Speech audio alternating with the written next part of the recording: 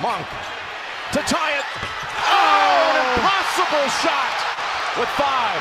Looks up. Use the force. Maye for the win. North Carolina with 0.3 seconds to go.